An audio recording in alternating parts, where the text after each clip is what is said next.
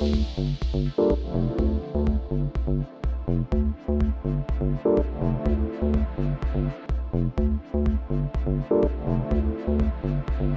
think what makes the difference, for example, is the kind of the ingredients. And I think they are amazing.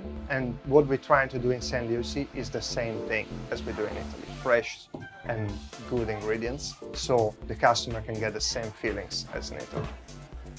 My favorite pizza on this menu is the Marcello pizza, obviously, which takes all the ingredients from my region, which is Emilia-Romagna in Italy. My pizza has Parma ham on it, balsamic vinegar too, so I really recommend it.